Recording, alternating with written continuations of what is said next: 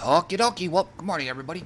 Uh, it's time for my pseudocast, and this time around, um, this is that, uh, excuse me. This weird, this is, uh, Kuroda Kagi, uh, Call to the Deep.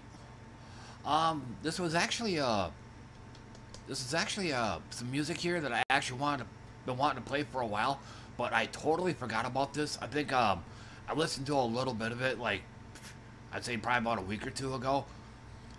And um, I'm like, hey, that, that hey, I ought to, I ought to do that during my next pseudocast, but for some reason it never panned out. So just now, um, I think it, um, I think this came up again in my YouTube recommendation, so I decided to go with this.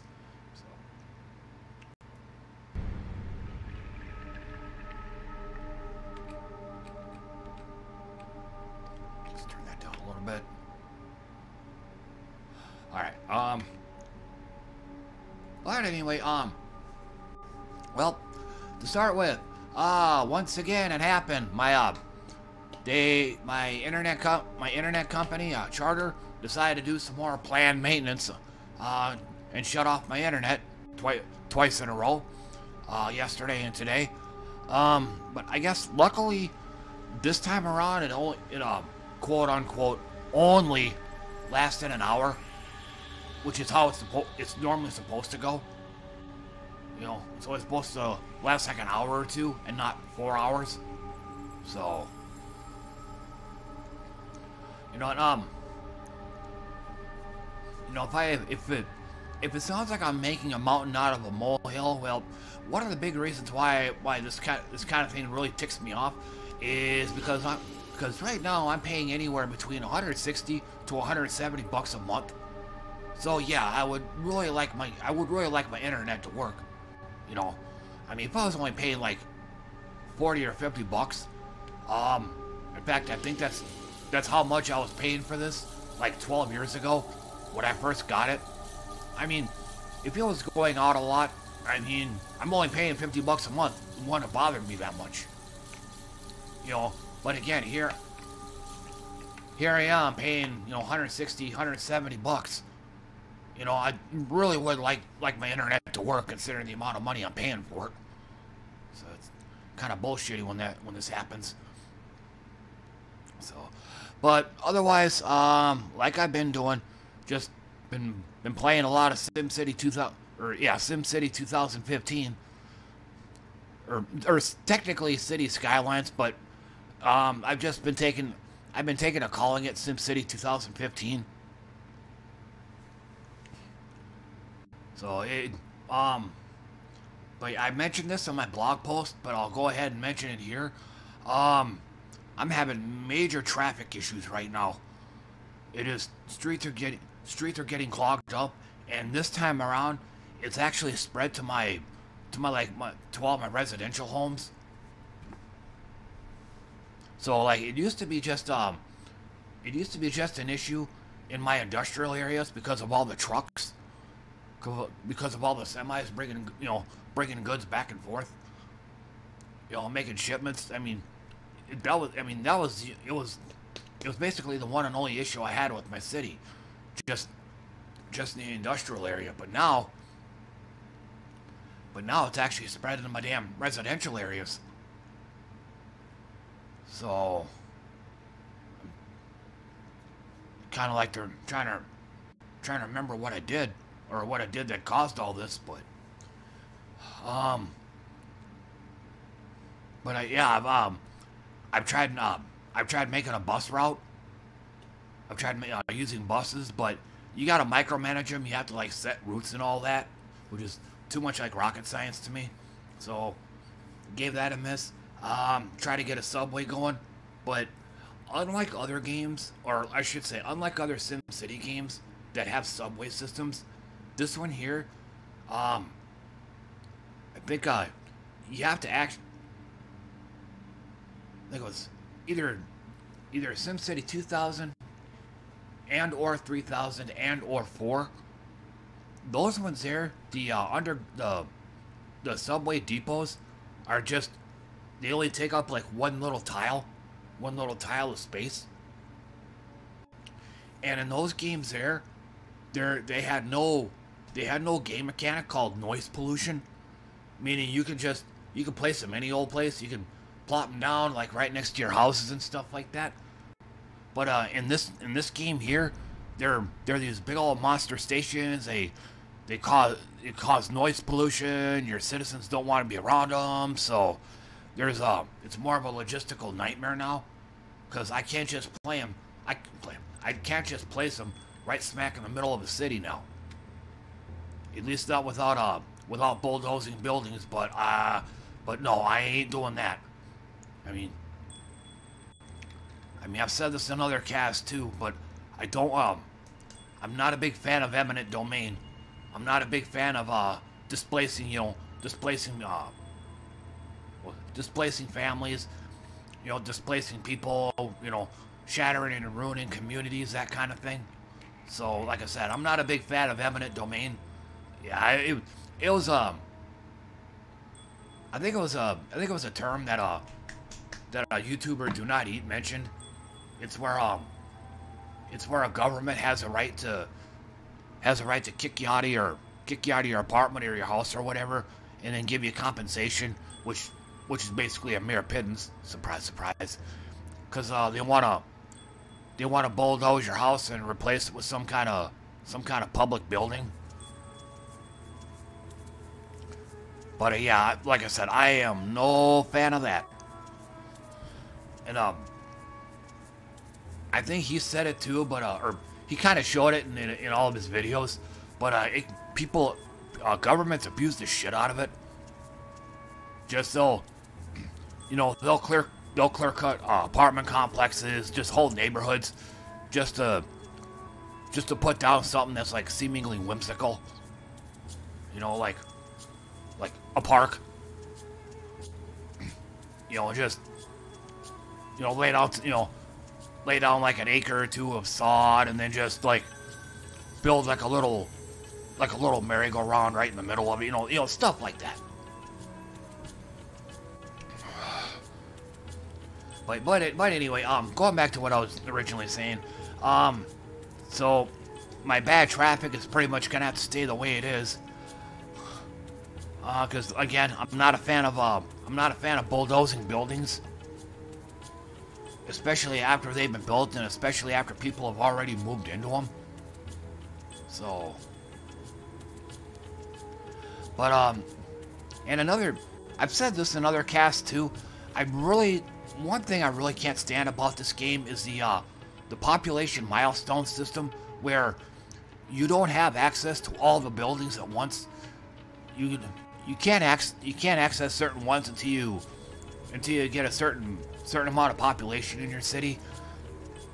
Because I, I, you know, it really would have been nice if I'd have gotten the, uh, gotten the uh, crematorium building, because when you have a lot of people in your city, you're also going to have a lot of dying and dead people in your city as well. You know, people die of old age or whatnot. And um, so which is which was which was my situation, and um, just like it, just like the problem I had with landfills, because people generate so much damn garbage that I have to build.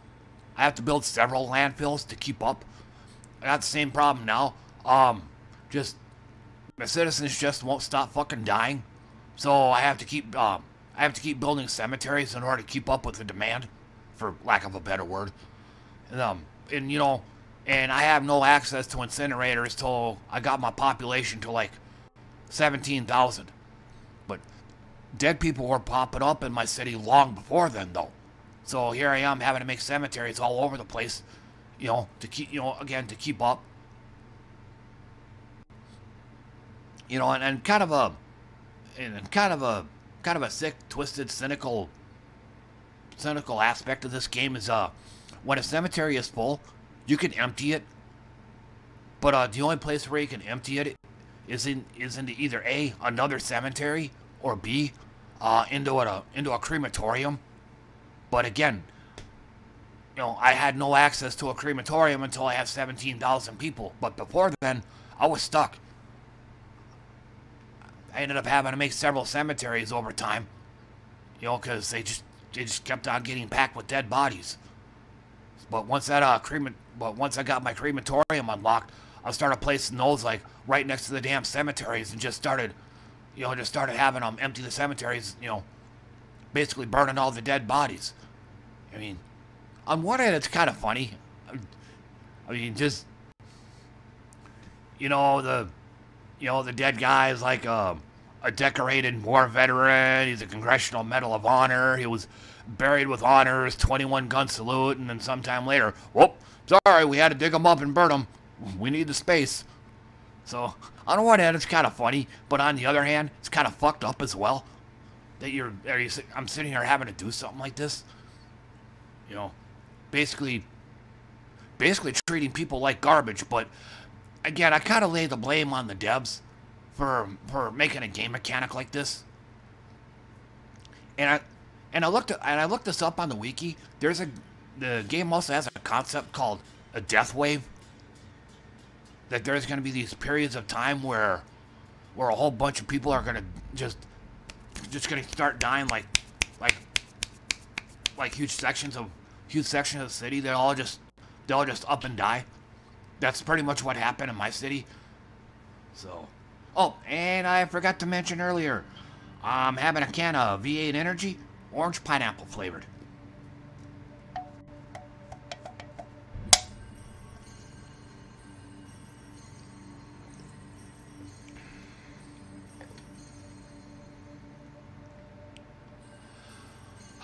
Um, but but yeah, like but like like I said, I I kind of placed the blame on the devs for this. You know, maybe if they would have balanced it out better to where to where you know you didn't have such a you didn't have a, such an issue with like a uh, with like lots of your citizens dying until you actually until you're actually able to make a crematorium and then maybe uh right around that time just have them all start dropping dead. I mean, I could have, you know, I could have understood, I could have understood that, but no, it's, it's like, um, I want to say when I got my population to about ten thousand, that was when they all started dying. That was when I started having to keep building cemeteries to, you know, because they kept on filling up. So, you know, you know, but no, I think there's probably just some kind of uh, some kind of arbitrary number.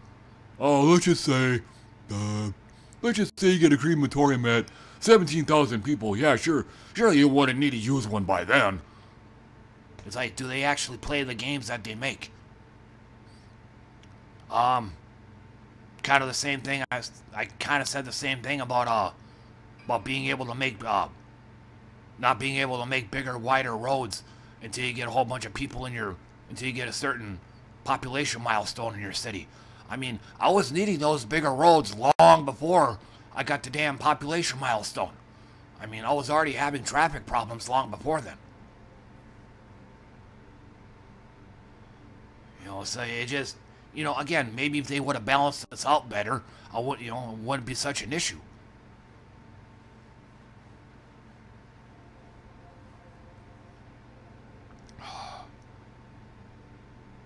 But I mean, but again, but don't get me wrong though. I'm still liking this game, and actually, one of my viewers said it yesterday too. I was at, I actually did a five-hour stream yesterday. I can't recall the last time I ever did that.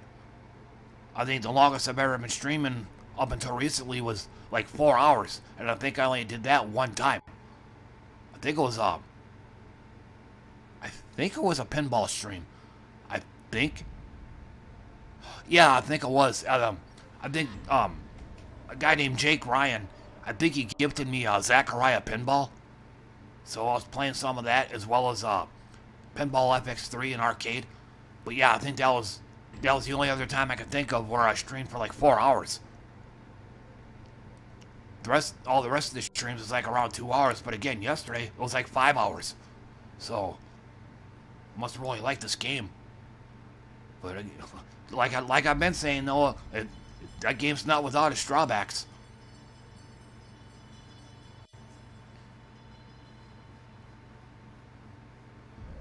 So yeah, it, I think I was trying to say this a few minutes ago. It's like, yeah, it's like I'm basically treating I'm treating the dead like fucking garbage.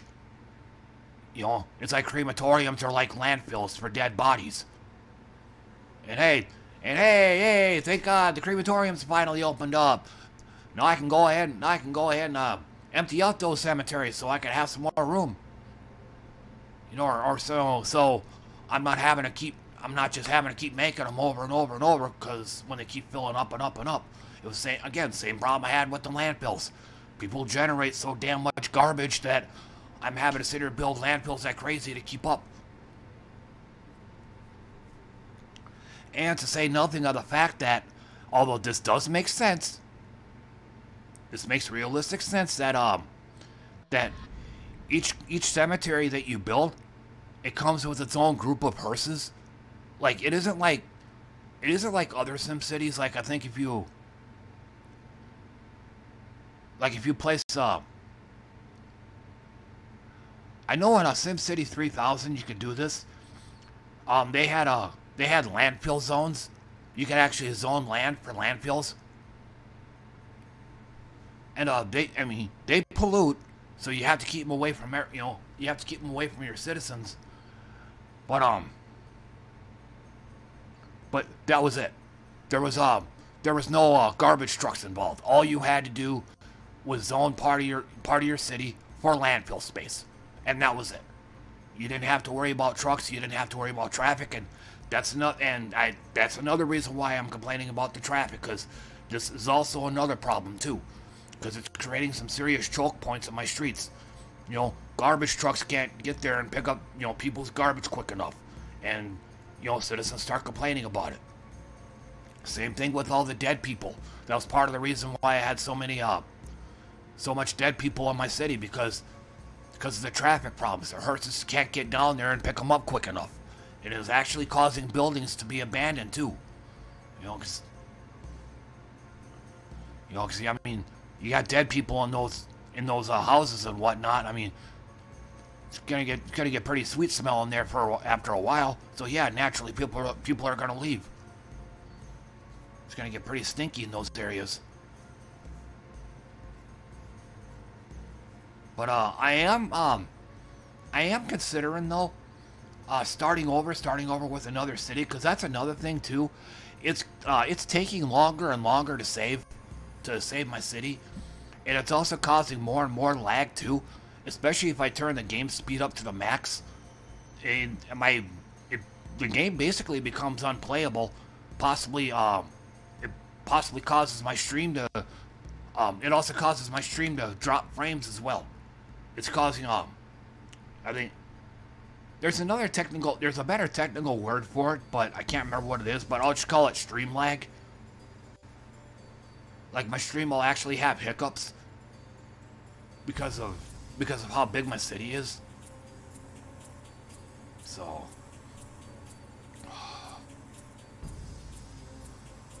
um and um I guess uh one more thing before I close it out. I actually um I started watching a movie called called Won't You Be My Neighbor. It's a documentary about Mr. Rogers' neighborhood.